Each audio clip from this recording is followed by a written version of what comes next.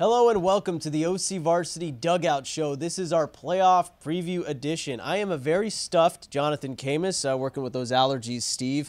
Um, Steve, we're talking about Division One in this video. We'll talk about the other divisions in a separate video, but for now, this is where the big boys play in Division One, Steve, where two of, uh, actually four of the top 10 teams are in this division. I mean, you name them. It goes down from JSerra, El Toro, Orange Lutheran, Cypress, not to mention some wild card games this week.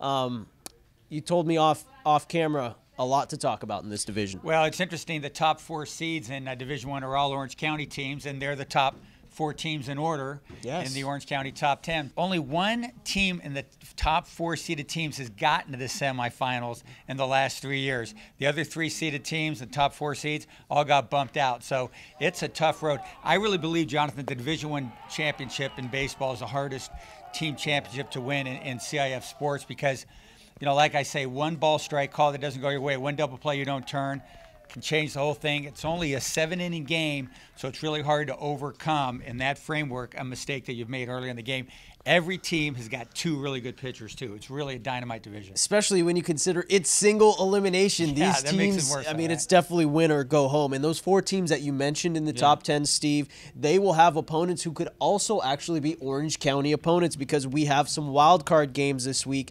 including some uh, schools from Dana Hills, Edison, and Kennedy. So we could have a lot of Orange County versus Orange Yeah. County teams on Friday. You know what? If Edison wins their their uh, wild card game uh, on on Wednesday, on Friday, the first round, they would play at Cypress.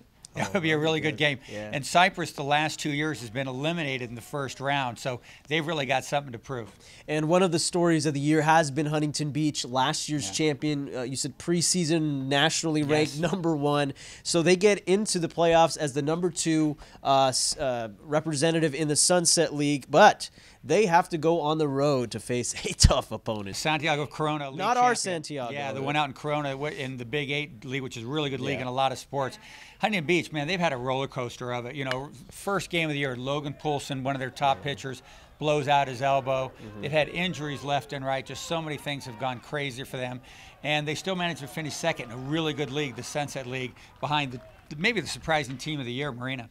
Okay, so if we could just say, hey, here's your prediction to win it all in Division One. I. know it's early. We're having more of these shows later as the playoffs progress. But who are who is your favorite? Uh, I got. I really like top seeded JSerra, Jonathan.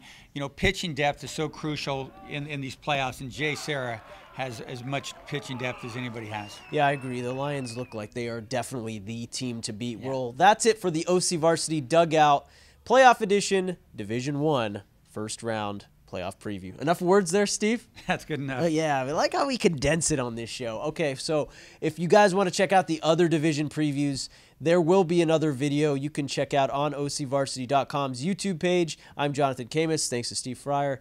And uh, check out OCVarsity.com for all your latest baseball updates.